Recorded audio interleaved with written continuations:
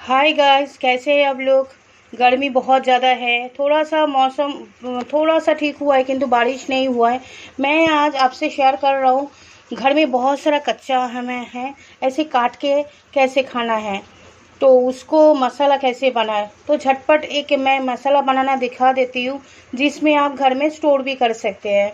चलिए, मैं क्या क्या मसाला डालते हैं, मैं आपसे शेयर कर रहा हूँ।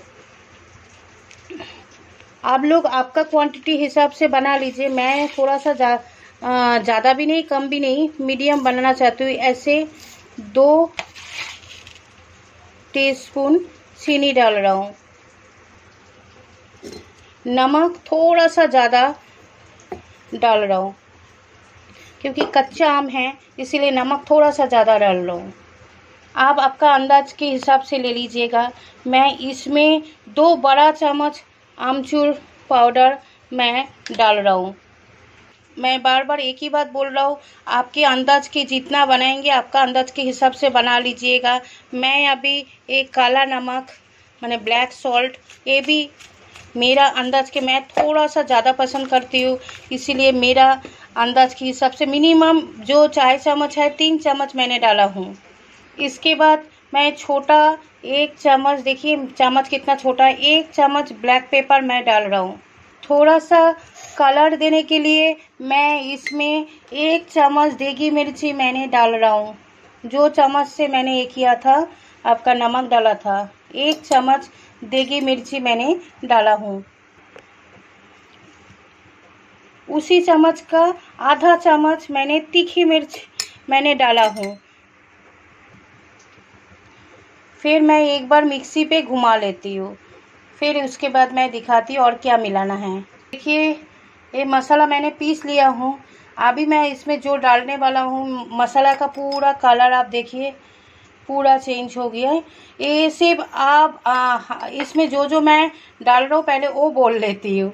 हम्म, इसमें मैं भुना हुआ जीरा और धनिया देखिए दर दरा पिसा हुआ है ये देखिए साबुत दर दरा पिसा हुआ है। ये मैं तीन चम्मच मैं डालूँगी। वो आपके हिसाब से डालिए। ये ये देखिए तीन चम्मच अभी तक नहीं हुआ। अभी ये तीन चम्मच हो गया है।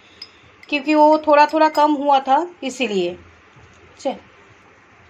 इसके साथ मैं वो छोटा सा ही चम्मच से हाफ़ टी स्पून मैंने इसमें चिली फ्लेक्स डाला हूँ। तो इसको फिर मैं मिक्स करके कोई भी या टाइट कंटेनर में आप रख दीजिए। ये आप कोई भी पकौड़ा हो, आम की, आम तो कच्चे आम के साथ तो आप खा ही सकते हैं।